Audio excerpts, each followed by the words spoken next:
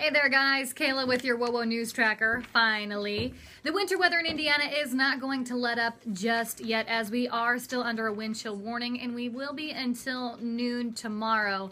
And because of all these cold temperatures we are experiencing, Fort Wayne Community Schools have canceled after school elementary and middle school activities. High school activities are still going to be determined. You can find more details online at wowo.com. And be sure to stay up to date with the latest weather information during the Pat Program from 3 to 6.